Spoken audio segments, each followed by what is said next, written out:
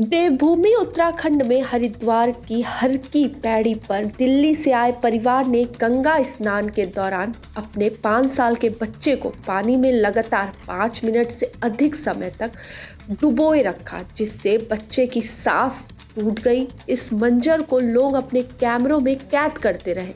बच्चे की मौत के बाद कुछ लोगों ने सुध ली और बच्चे को बाहर निकलवाया, मगर तब तक देर हो चुकी थी। ब्लड कैंसर की कहानी बताई। पुलिस ने दंपति और उसकी मौसी को अरेस्ट किया है तो उन्होंने बच्चे को ब्लड कैंसर होने की बात बताई। किसी ने उन्हें बताया था कि गंगा में लगातार नहलाने से कैंसर ठीक हो जाता है।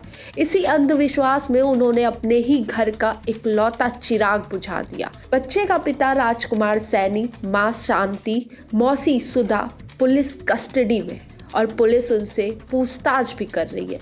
अब इस पर क्या कुछ कार्रवाई पुलिस द्वारा की जाती है, वो भी आपको बताएँगे।